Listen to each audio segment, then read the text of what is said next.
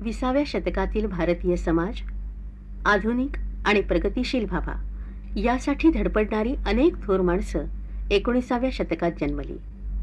Baburao painter त्यापैकीच एक.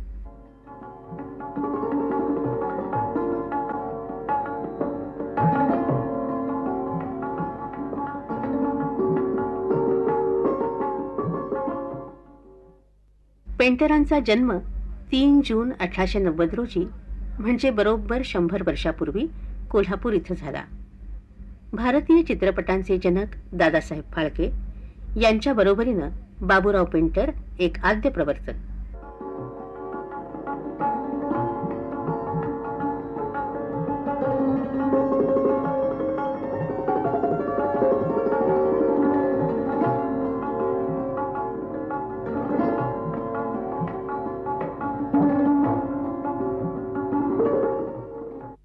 Painter केवळ चित्रपट दिग्दर्शकच नव्हते तर चित्रकार यंत्रविशारद छायाचित्रकार वास्तुतज्ञ आणि शिल्पकार अशी बहुविध प्रतिभा असणारे विश्वकर्माच होते.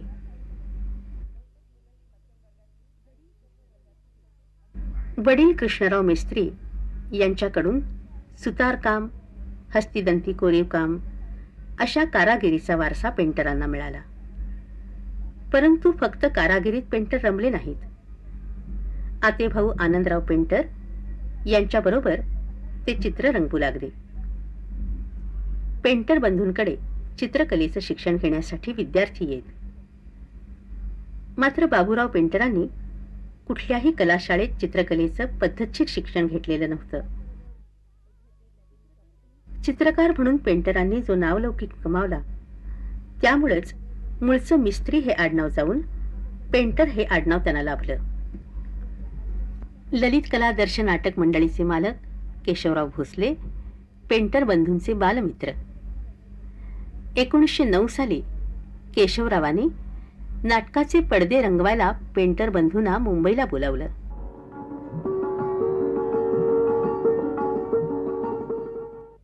गंधर्व नाटक मंडळी या नाट्यसंस्थेचे पडदे पेंटरांनी स्वतंत्रपणे रंगवले. पैज लावून प्रेक्षकांकडून पडद्याला पेंटरांनी टाळी मिळवली. तोपर्यंत मराठी आणि इतर भाषिक नाटकांचे पडदे अत्यंत भडक रंगात रंगवलेले असत. त्यांनी त्यातली कृत्रिमता काढून टाकली. रंगसंगती डोळ्यांना सुखवणारी आणली. विशेष म्हणजे पडद्यांना डेफ्त आणली आणि थ्री डायमेन्शन्सचा परिणाम साधला.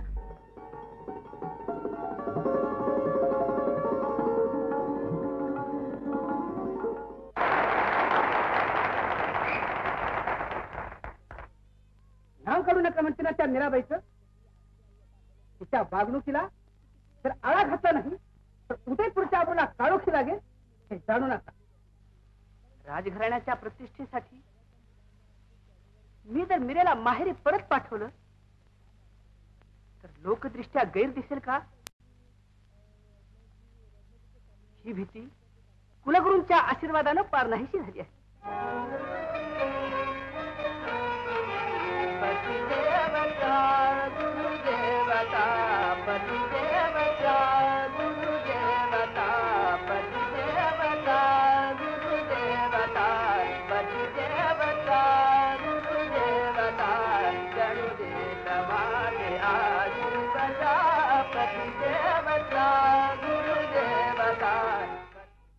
पेंटरांची प्रतिभा पडदे रंगवण्यातच रमणारी नव्हती.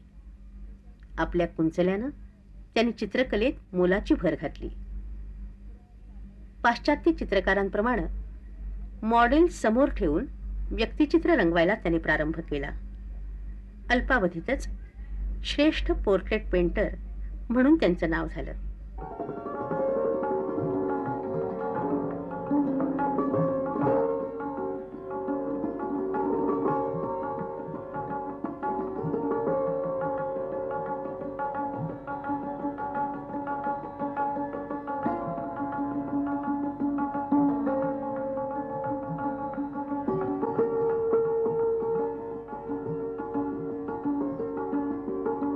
बाबूराव पेंटरांच्या चित्रकलेमध्ये जी शैली दिसते ती विशेषतः वास्तववाद म्हणून ओळखली जाते. पण बाबूराव पेंटर कुठल्याही आर्ट स्कूलमध्ये जाऊन शिकले नाहीत. बाबूराव पेंटरचं शिक्षण केवळ निरीक्षणाने स्वतःच्या मननाने असं झालेलं आहे. त्यांनी आपली स्वतःची अशी शैली निर्माण केली. आणि ती शैली सर्वांच्यापासून फार निराळी त्यांच्यापूर्वी कुणीही अशा तऱ्हेच्या शैलीमध्ये चित्र केली नव्हती. त्यांची महत्त्वाची चित्रं म्हणजे त्यांची पोर्ट्रेट्स वगैरे बरीच आहेत पण त्यांची महत्त्वाची चित्र म्हणजे विश्वमोहिनी म्हणजे सरस्वती लक्ष्मी आणि दत्त. आता ही तीन हिंदू माणसांची दैवत आहेत. बाबुराव पेंटरनी त्याच्यामध्ये पूर्णपणे परिवर्तन घडवून आणलं. दत्त म्हटल्यानंतर त्याची तीन मस्तकं असतात. ब्रह्मा विष्णू आणि महेश. आणि त्यामुळे सहा हात असतात. तर एका माणसाच्या आकृतीला इतके हात आणि इतकी मस्तकं असणं हे त्यांच्या विश्व वास्तववादी बुद्धीला पटणारी गोष्ट नव्हती. म्हणून ज्यावेळी दत्त त्यांनी चित्रित केला त्यावेळी ब्रह्माची आकृती तशीच ठेवली आणि दुसरी दोन जी मस्तकं होती ती अत्यंत धुसर अशी गूढ अशा अवस्थेमध्ये पेंट केली. की जी पार्श्वभूमीमध्ये मिसळून जावी तसे चार हाती. म्हणजे पाहताना असं वाटतं की दत्ताची मोहक अशी मूर्ती आपल्यासमोर येते आणि त्यांची जी दुसरी दोन मस्तकं आहेत आणि दुस चार हात आहेत ते कुठेतरी पार्श्वभूमीतून नुसते बाहेर येत आहेत आणि पार्श्वभूमीत विलीन पण होत आहेत. त्याचप्रमाणे दुसरं चित्र त्यांचं लक्ष्मीचं आहे. बाबुराव पंडांची लक्ष्मी ही उभी नाही. ती कमलासनावर तर आहेच पण ती कमलासनावर रेलून बसलेली आहे. आणि तिचा हात सुद्धा एका छोट्याशा कमळावर अधिष्ठित झालेला आहे. दुसरे जे दोन हात त्याने दाखवलेले आहेत ते सुद्धा पार्श्वभूमीमध्ये मिसळून गेलेले निळसर अशा धुसर अशा रंगामध्ये दाखवलेले आहेत. आणि त्यामध्ये कमळाच्या दोन कळ्या आहेत.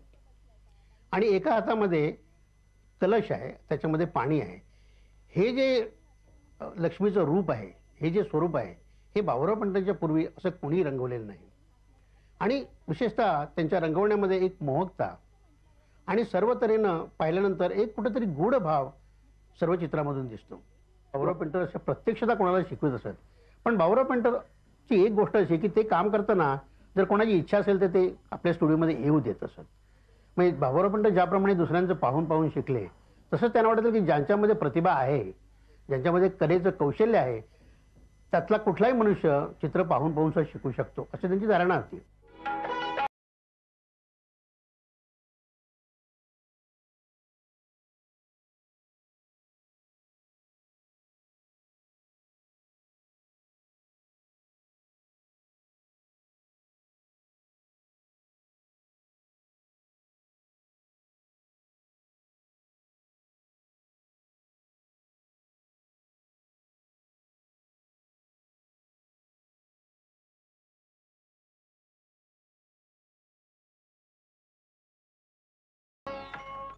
कोल्हापूरच्या राजाराम महाराजांनी आपलं अश्वारूढ पोर्ट्रेट त्यांना रंगवायला सांगितलं. आणि शानो घोडा नीट आला पाहिजे अशी अट घातली. तेरा फूट उंच दहा फूट रुंद अशा या पोर्ट्रेटसाठी कॅनव्हास इंग्लंडहून मागवायला पेंटरांनी सांगितलं. कोल्हापूरच्या रेसकोर्सवर अश्वारूढ महाराजांचे फोटो घेऊन हे चित्र पेंटरांनी पूर्ण केलं. पोर्ट्रेट्स रंगवताना कॅनव्हासवर कष्ट न पडता तो रंगवता यावा. यासाठी खालीवर होणारा इझेल पेंटरांनी स्वतः तयार करून आपलं इंजिनिअरिंग कौशल्य दाखवलं.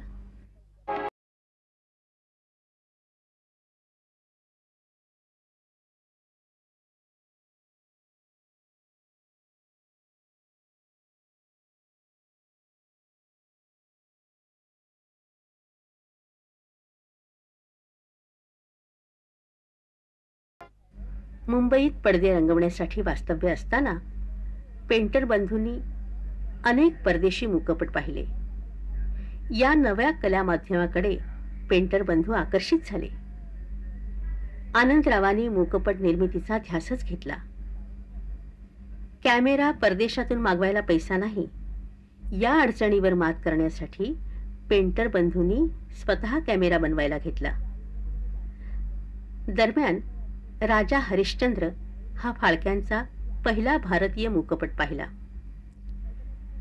त्यात स्त्रियांच्या भूमिका पुरुषांनी केलेल्या पाहून पेंटर बंधू नाराज झाले. आपल्या मूकपटात स्त्रियांच्या भूमिका स्त्रियाच करतील असे उद्गार त्यांनी काढले.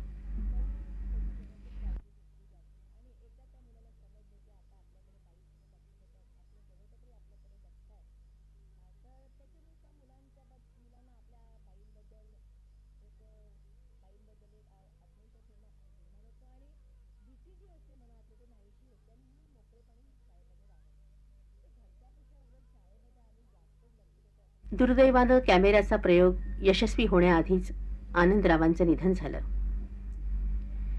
मूकपट बनवायचं आनंदरावांचं स्वप्न पूर्ण करणं हे आता बाबूराव पेंटरांचं जीवन कार्य ठरून गेलं. या कार्याची सतत आठवण राहावी म्हणून आनंदरावांच्या स्मरणार्थ वयाच्या पंचवीसाव्या वर्षी बाबूरावांनी जी दाढी राखली ती शेवटपर्यंत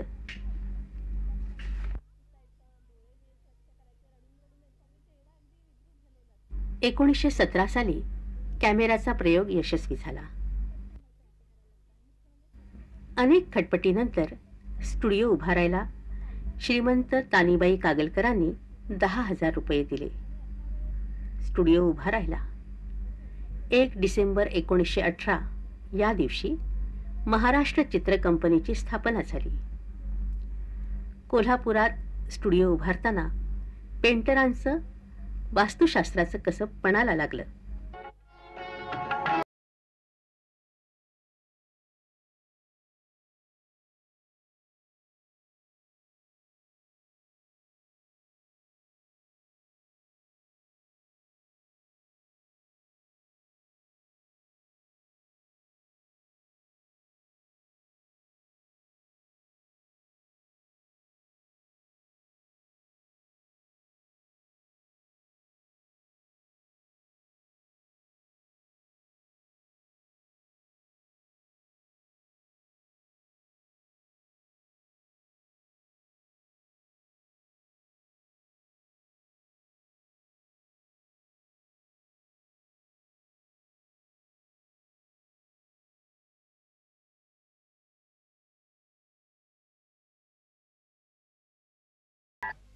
भारतीय पडद्यावर प्रथम आलेली मराठी स्त्री म्हणजे गजराबाई.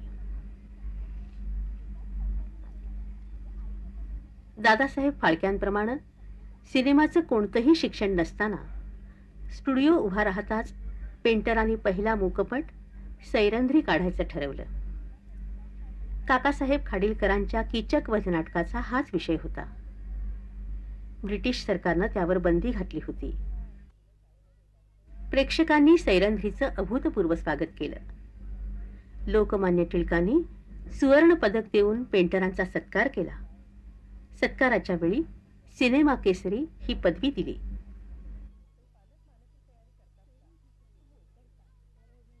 सैरंध्रीच्या यशानं कोल्हापुरात मराठी चित्रपट व्यवसायाचा पाया घातला गेला. मूकपटांना कलेचं लेणं चढवलं. अस्सल पौराणिक वातावरण शॉर्ट कंपोजिशन अशी अनेक वैशिष्ट्य सैरंध्रीमध्ये होती. कला महर्षी बाबुराव पेंटर यांचं घराणंच मुळी कलावंतच होतं. त्यांनी नाटकाचे पडदे केले. त्यावेळेस त्यांच्या डोक्यात आलं की नाटकाचे पडदे जर सॉलिड केले तर स्टेजवरती चित्रपटावर फार चांगला पडला होईल म्हणून नाटकाचे स्वयं नाटकाचं त्यांनी पडदे जे केले त्यावर त्यांना वाटलं हे खांब हे सगळं खरं करायचे लाकडी करायचे त्याच्यात मोल्डिंग करायचं अशा त्यानं त्यानं पहिलं सैरंद्र चित्रपटाचं सेटिंग केलं. आणि त्या सैरंद्र चित्रपटाचं मध्ये बायका आणि स्त्रियांनी पहिल्या भूमिका त्यांनी केल्या. स्त्रिया सुद्धा मिळत होत्या वेश्या सुद्धा स्त्रिया येत होत्या. कारण वेश्यांनी तोंडाला रंग लावणं हे पाप आहे म्हणून त्याला जाती बाहेर काढलं. तर अशा वेश्यांना सुद्धा बाबरोने आपल्या कंपनीत राहायला जेवायला ठेवलं आणि त्यांना कामं दिली. आणि त्या सैरंद्री चित्रपटाला दिशी कॅमेऱ्यानं फिल्म घेऊन पहिलं चित्रपट पुण्याला आर्य सिनेमात दाखवलं. सैरंध्री आणि सुरेखा हरण या पौराणिक चित्रानंतर हरिनारायण आपटेंच्या कादंबरीवर सिंहगड घ्यायचं ठरवलं. मूकपटांना पुराणाकडून इतिहासाकडे वळवण्याचं आणि साहित्याशी जवळीक साधण्याचा पहिला प्रयत्न हे श्रेय बाबूराव पेंटरांचंच. सिंहगडच्या मुहूर्तानंतर एक धक्कादायक घटना घडली. आग लागून महाराष्ट्र फिल्म कंपनी स्टुडिओ भस्मसात झाला. त्यात सर्व निगेटिव्ह जळून गेल्या.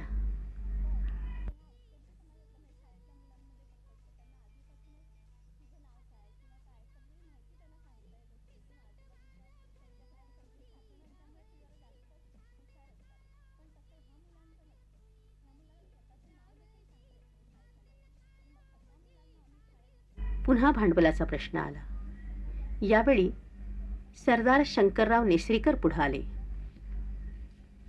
दहा हजार रुपये भांडवल देऊन नेसरीकर महाराष्ट्र फिल्म कंपनीचे भागीदार बनले. स्टुडिओ पुन्हा उभा राहिला.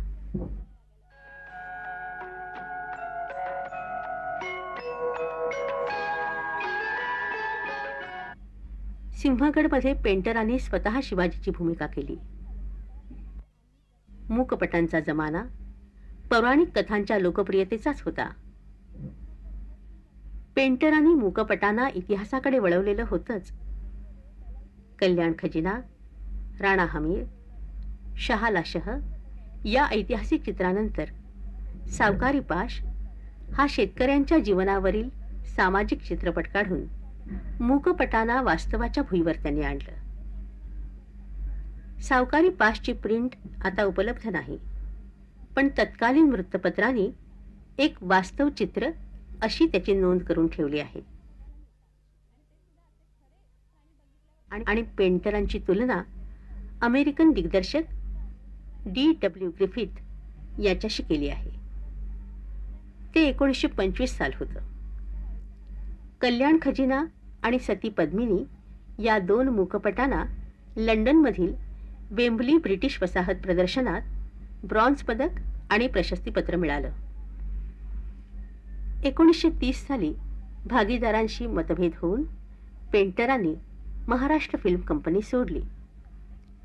एकोणीसशे वीस ते तीसच्या दहा वर्षात सतरा मूकपटातून या नव्या कला माध्यमाला कलेचा दर्जा त्याने प्राप्त करून दिला आणि निष्ठेनं उपासना करणारी असंख्य माणसं दिली.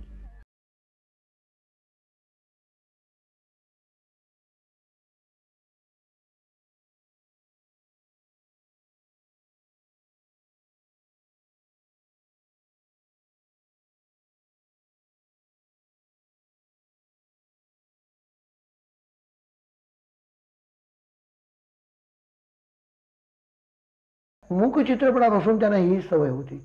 सगळं दृश्यांनी दाखवायचं आणि जिथं फक्त भाषेचा संबंध येईल तिथेच तेवढा तो डायलॉग टाकायचा. आणि त्याच पद्धतीनं त्यांनी बोलपट देखील अशाच पद्धतीने घेतले की जे दृश्यातून दिसतील. आणि दृश्य आणि डायलॉग डायलॉग हे बडबडणारा आता तो साधा शेतकरी तो किती बोलेल किती विद्वत्ता? हे सगळं लेखकांनी जरी लिहिलं असलं तर त्यांना ते पटायचं नाही. आणि हे जे स्कूल होतं या स्कूलमध्ये तयार झालेली प्रभातची मंडळी हे देखील त्याच्यावर खल असाच करायचे. पेंटरांनी महाराष्ट्र फिल्म कंपनी सोडली. तेव्हा ते एक व्यक्ती न राहता चित्रपटाचे विद्यापीठ बनले होते.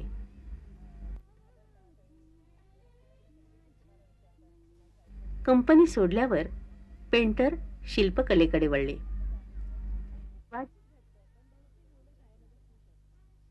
पुतळा बनवणाऱ्याला ओतकामाच्या भट्टीवर अवलंबून राहावं लागतं. तेव्हा त्यांनी स्वतः अशी मोठी भट्टी बनवली. अनेक छोटी मोठी शिल्प त्यांनी निर्माण केली.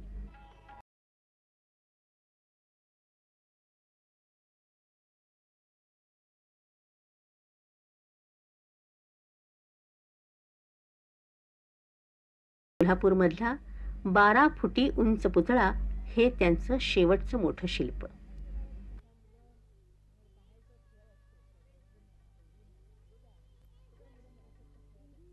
कवीश्वराने प्रसाद कवीना इथं आणलं. खरं ना? कवीश्वराच्या सांगण्याबरोबर त्याला आम्ही इथे आणलं. आणि त्यांच्या बरोबर एक मुलगाही होता.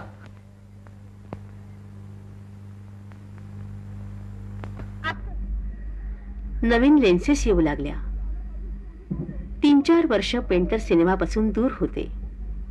एकोणीसशे चौतीस साली अक्कासाहेबांनी पेंटरांसाठी शालिनी स्टुडिओ उभारला. शालिनी सिनेटोनसाठी पेंटरांनी उषा सावकारी उपाश प्रतिभा ही तीन चित्र दिग्दर्शित केली. सेट डिझाईन्स शॉर्ट कंपोजिशन इत्यादी अंगात ही चित्र श्रेष्ठ ठरली.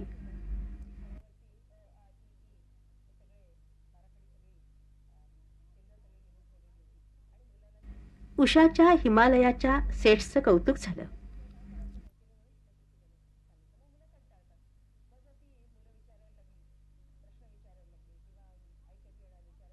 सावकारी पाश हा मूकपटाच्या कथेवरूनच घेतलेला होता. नाटककार औंधकर हे या चित्राचे पटकथा लेखक बनले. बे, खाल्लेल्या अन्नाला कुत्र सुद्धा जागत पण तुम्ही मात्र आपल्या उपकार कर्त्यावर उलटला नीच हेतूने केलेल्या उपकाराची कवडी किंमत होत असते समजला? प्रतिभाचं कौतुक चित्रकाव्याचा उत्कृष्ट नमुना म्हणून समीक्षकांनी केलं.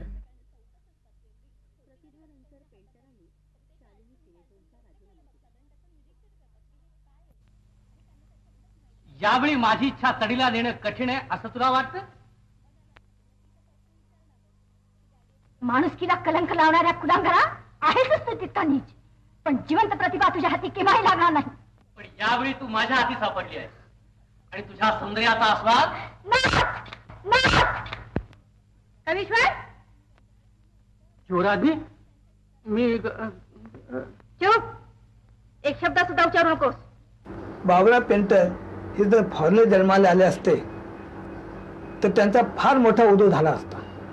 भारतात येऊन त्यांचा काही उदो झाला नाही काही नाही. कारण एवढा महान मनुष्य ह्याला तर चलना देणारा कोण मनुष्य मिळालाच नाही. प्रत्येक त्यांचे जे काही पिक्चर गेली पिक्चर काढली ते अतिशय खर्चानं काढून नुकसानच गेली त्यांची पुष्कळची परंतु ह्या माणसाला उदो उदो करून त्याला कुणी मिळाला नाही काही. त्यानंतर बालगंधर्वांना घेऊन मीराबाई या नावानं स्टेज टॉकी चित्रित केली. मूळ अमृत सिद्धी हे नाटक कॅमेरानं घेतलं. चित्रपटाचा डॉक्युमेंटेशन म्हणून उपयोग होऊ शकतो हे पेंटरांनी दाखवून दिलं. नटश्रेष्ठ बालगंधर्व स्त्री भूमिका रंगमंचावर कशा करीत हे आजही त्यामुळेच आपल्याला पाहायला मिळतं.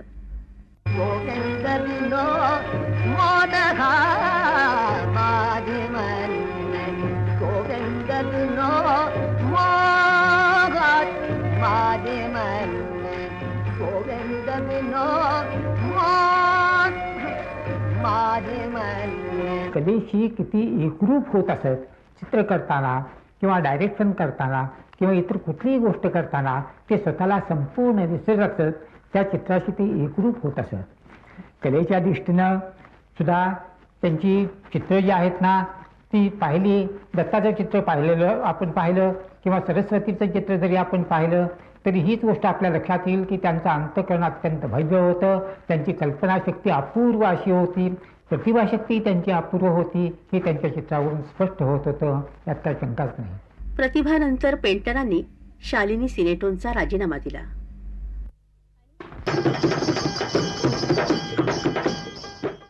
बाबूराव पेंटर अगदी मितभाषी होते. रागावणं तर त्यांना ठाऊकच नव्हतं. त्यांचं माणूस म्हणून महत्वाचं वैशिष्ट्य म्हणजे त्यांना यंत्रयुगाबद्दल असलेलं प्रचंड कुतूहल. कोणतंही यंत्र त्यांच्या हाती पडो. मग ती मोटार असो कॅमेरा असो वा एखादं घड्याळ असो. प्रथम ते यंत्र ते खोलून पाहायचे. पुन्हा होतं तसं जोडून पुन्हा सुरू करायचे. स्वभाव अत्यंत निर्वैर दुसऱ्यावर विश्वास टाकण्याची वृत्ती संसाराची सारी जबाबदारी त्यांनी पत्नीवर माई पेंटर यांच्यावर टाकली. सिनेमाच्या काय काय गोष्टी मला सांगत होत्या मला काय समजायचं नाही. मी असल्यामुळे काही मला लवकर कळायचं नाही. सांगायचं समजावून. नंतर मग मुलं सा शाळेत जायला लागले. शाळेत जाताना मला माहीत म्हणायचे मुलांना काय विचारा काय ते म्हणायचं काय नाही मुलाचे काळजी आईने घ्यायला पाहिजे. त्यांच्या फिल्म्स फार कलात्मक होत्या क्रिएटिव्ह होत्या आणि ह्या माणसानं फिल्म किंवा सिनेमा हा व्यवसाय म्हणून कधी केला नाही. तर आपलं व्यक्तिमत्व किंवा आपल्याला वाटणाऱ्या गोष्टी त्यात मांडण्यासाठी लोकांच्यापर्यंत पोचवण्यासाठी तो क्रिएटिव्ह भाग म्हणून त्यांनी विचारात घेतला. आणि त्यांनी सगळ्या फिल्म्स त्यांच्या स्वतःच्या विचारांच्यासाठी आणि स्वतःला वाटणाऱ्या एका एक्सप्रेशनसाठी त्यांनी तयार केल्या. बाबुरावांचा स्वभाव फार चांगला होता. ते अगदी हिऱ्यासारखे होते. कलाकारांना ते फार मान देऊन आणि कौतुकानं वागवत होते. कधीही त्यांनी कमीपणानं असं वागवलं नाही. ते ॲक्शन करून दाखवत नव्हते. ते कलाकारांना समजून व्यवस्थिशीर सांगत होते. त्या कल्पना देत होते. त्या त्याप्रमाणे आम्ही काम करत होतो. कोल्हापुरात बावडेकर बंधूंनी एक पिक्चरकड एक चित्रपट काढायला ठरलं होतं. त्याला कमलाबाई मंगळूरकरनी फायनान्स करायला ठरलं होतं. आणि तो चित्रपट बाबुराव पेंटरनी दिग दिग्दर्शित करावा दिग्दर्शित करावा अशी त्यांची फार इच्छा होती. त्याप्रमाणे त्यांनी शांताराम पुन्हा विनंती करून बाबुरावांना ते चित्रपट दिग्दर्शित करायला सांगितलं. अर्थात मुंबईत जाऊन बाबुराव पेंटरनी तो चित्रपट दु- दिग्दर्शित केला. तो चित्रपट इतका चांगला आला की त्यांनी त्याचे पैसे दिलेच दिले आणि त्यावर त्यांना एक हिऱ्याची अंगठी बक्षीस दिली. बाबुराव ते नेहमी अंगठी आपल्याजवळ वापरत. एकदा आपल्या घरामध्ये काम करत असताना त्यांच्या अंगठीतला तो खडा पडला. त्या दिवशी अर्थात मलाही फार मनाला वाईट वाटलं. त्यांच्या पत्नी तर ओक्सापाशी रडू लागल्या. कारण का तो खडा शुक्रवारी पडला होता. हिऱ्याचा खडा आणि शुक्रवारी गेला हे त्यांच्या मनाला फार लागलं. साहजिकपणेच मला वाटलं की बाबा त्याच्यावर तर बाबुरांच्यावर त्याचा काय परिणाम झाला हे पाहावं म्हणून मी त्यांच्या स्टुडिओमध्ये गेलो. अहो शेठ म्हणलं असं असं खडा पडला. असं कसं काय खडा पडला? अहो त्यात काय म्हणले? जसं आला असा गेला त्यात पडला म्हणून काय वेगळं तर आपण आपल्या कामाला बघूया. अर्थात त्यांच्या मनावर त्याचा काहीच परिणाम झाला नव्हता. नंतर आठ दिवसानंतर तोच खडा पुन्हा त्या चुकून सापडला. त्याची प्रतिक्रिया काय होती? पाण्याकरता ज्यावेळी गेलो त्यावेळी ते म्हणलं गेला काय? सापडला काय? तुम्ही आज लहान लहान गोष्टीचा असं काय विचार करता? मला काय तर पटत नाही काही चला आपण आपल्या कामाला बघूया. म्हणजे अशा प्रकारची स्थितप्रज्ञता जी असते ना ती त्यांच्या ठिकाणी मला आढळली. एकोणीसशे चौपन्न साली पेंटर काळाच्या पडद्याआड गेले. त्यांच्या कलेचा वारसा त्यांच्या शिष्याने पुढे नेला. व्ही. शांताराम पेंटरांचे पट्ट शिष्य त्यांनी भारतीय चित्रपटांना साता समुद्रा पार नेलं आणि त्यांची कीर्ती दिगंत झाली. अशा ह्या अष्टपैलू व्यक्तिमत्वाच्या कला महर्षींना आमची आदरांजली.